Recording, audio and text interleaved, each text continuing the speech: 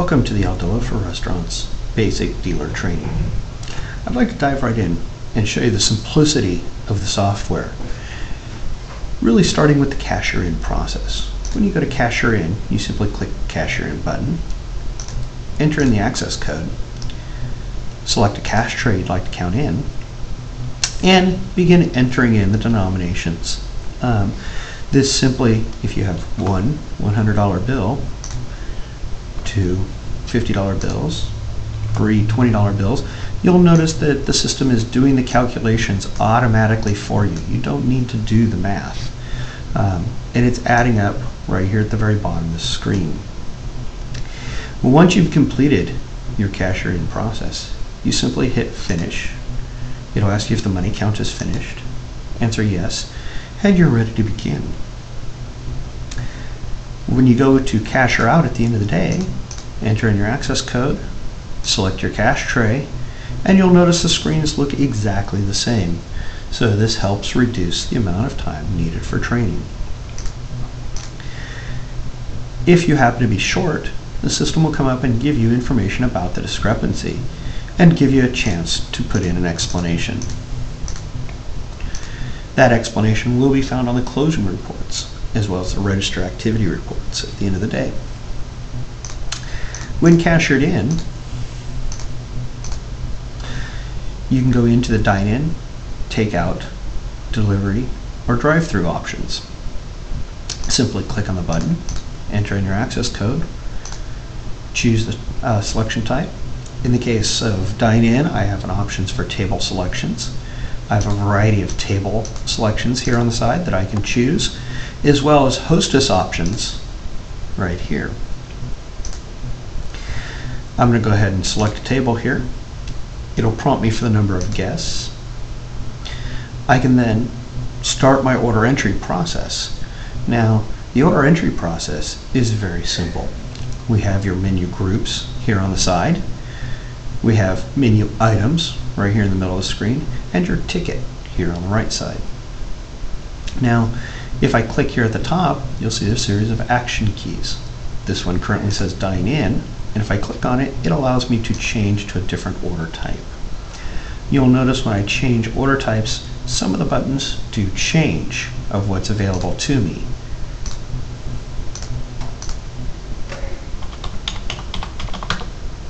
So in this case, I'm going to delivery order type, and it's going to prompt me for my name and information.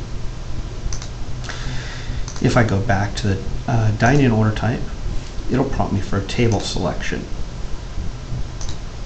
In the selection here, if I want to order a menu item, I simply click on the menu item, click on the modifiers, and it'll appear here on the right hand side. When I click done, it will print to the kitchen.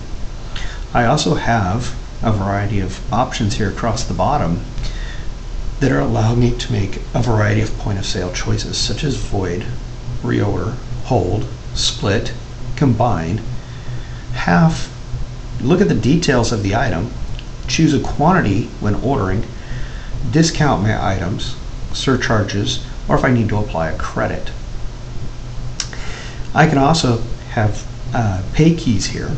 So like in this case, I'm going to settle my order. It'll take me to a settlement screen, or I can either choose my type of electronic payment or my cash payments. In my case, I'm just going to hit cash, and you'll see you get a, a variety of payment options here. And we're going to go ahead and settle out. Now my ticket would automatically print to the kitchen, and we're ready to go forward. In the recall screen, you'll actually be able to recall orders based on all types, dine-in types, bar tabs, uh, takeout, drive-through. I can even look at historical information and go back and see information from any day that I'd like to choose. In the driver section, this allows me to review and dispatch my drivers. Um, in delivery status, I can see what orders are out and for who. I can void items. I can go directly into settle screens from uh, and look up orders and settle them that are already made. No sale will pop my cash tray. I can do paid outs refunds, uh, generate in-store credits, sell gift cards, cashier in and out, Um, the Pro Edition does have time cards built in, and simply enter in your access code. In this case, I need to clock in like that. Um, if I go back in here, I can clock out or do my breaks, and you'll notice the clock in button disappears because I'm already clocked in. The stay button will allow me to stay in this screen as I click through buttons. I can view my schedule, set a pager. Um, if you have the access authority, you can edit time cards, view earnings reports, or simply hit close. The operations section of the software allows you to quickly look at a variety of different options inside the software. Things that are dealing with your payments, revenue, frequent diner, in-house charges, inventory activities. Other tools give you a variety of reporting options as well as um, options for media center integrations. And of course, done exits that section. The back office gives you a variety of powerful tools um, and contains your settings sections. These settings allow you to adjust store level settings, security settings, uh, station settings, as well as do basic maintenance for the system, such as change your data source, compact your database, backup your database, or pay employees. You can also do some um, typical tasks back here, such as maintain your in-house charge accounts, or receive inventory items directly from this screen. Now the system does automatically set you up with a demo database. Um, to change data sources or create your own, simply click on Data Source, acknowledge the warning message, and create New Blank Database. And click the checkbox here to give your database a name.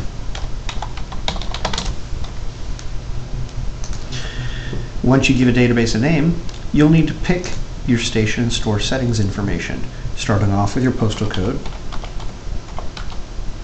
your city name, the state,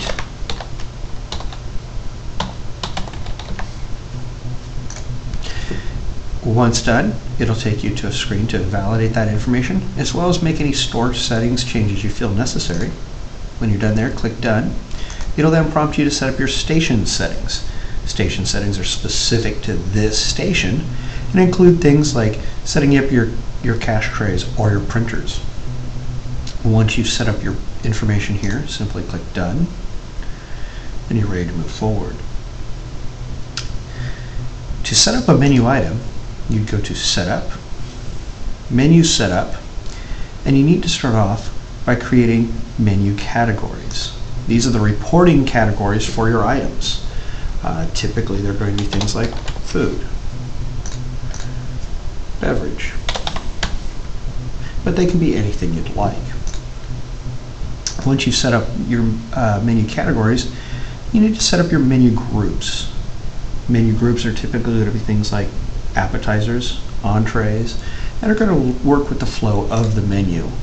Um, for our purposes, I'm just going to do an appetizer section here. You can pick where you, in the screen you'd like those to appear. You can also set up any type of picture or colors you'd like on those buttons, as well as decide what uh, service is going to be available when, and if there's going to be a default order group. I'm going to go ahead and close that. Once you've created your menu groups, you're ready to start creating menu items. When you go to items, it will list your groups down the left hand side and give you a grid to the right. You can pick any button in the grid and start creating your menu items. Simply give your item a name.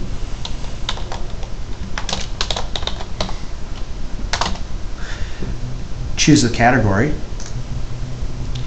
and give it a default price. You can also choose which printer you'd like to send this to. In my case, we're going to send this directly to Kitchen, as well as any taxes that may need to apply, any variance that happens in the price per order type, uh, any secondary language items. There's also a variety of operations here to account for almost any type of serious operation in a uh, restaurant. When you've created your item, simply click Save and Done, and that item will appear in your menu. If you're using a mouse, by simply right-clicking on that item, you can move it to a new location in the grid, anywhere you'd like. That simple. Now some menu items will have modifiers for those. To create a modifier, simply click on your menu item and choose, does this need to be a forced modifier or is this going to be part of a menu modifier template?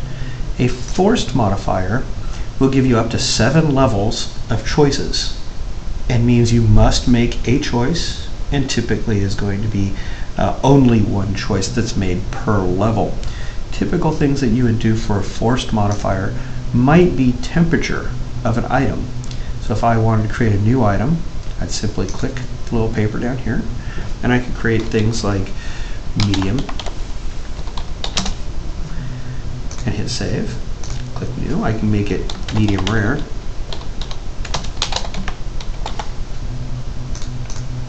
Well done. Etc. And once I've chosen those, I can check in the ones that I'd like to appear on my menu and click done. I now have a drop down here that shows all of the items that are going to be available for, for level 1 and so when I order my barbecue beef, I'm immediately going to be presented with temperatures for my item. Now I can also uh, create a variety up to seven levels here. And again, this works great if you have a situation where you need to make just one choice. But what if you had a situation where you need to make multiple choices? Well, that's where a modifier builder template comes in. And simply click on the little paper down here give your modifier builder template a name and click save. This will give you a variety of uh, options here and you can rename these buttons. Uh, for mine we're going to call this um, beef. So maybe I have beef cuts or beef types that I need to make. I'm going to click on the button here to make choices. And you're going to see I get a grid just like we had last time. And I can click on the, the grid here and enter in anything I'd like. So maybe I have different cuts of beef that I'd like to make. When I get through with this, I would actually have a grid here of the multiple choices that I'd have. And if you attach this to an item, I could actually order the item and have a list of choices that I could have for that item.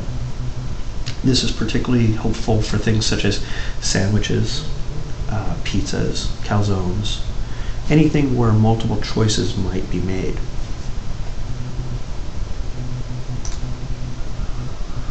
When done, do remember where it says use modifier builder template to choose it from the drop-down. A modifier builder template can be assigned to more than one item. Once you've created a variety of menu items, you're also going to need to go through and investigate the rest of the setup General setting items are going to create things such as store settings, which is the same as the button here, security settings, which is the same as the button here, station settings, which is the same as the button here. You can start setting up postal codes and delivery streets for areas that you're doing delivery. I can create cash trays. Remember, you do need to create a cash tray for each station. You can do this in the back office. I can set up surcharges and discounts here. I can start looking at my bad check information and start setting those up if I need to. We do allow for custom printer information if you do have uh, printers that may not be listed on our setup, as well as the creation of tax tables. In the table section, table groups and dine-in tables allow you to create your tables. An employee section allows you to actually create your employees and give them access codes menu setup, we've already gone through the basics here. And inventory setup allows you to create your inventory. Now much of this will be created in other videos um, for more detailed information.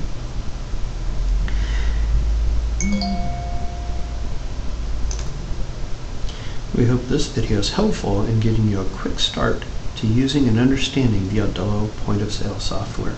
Thank you.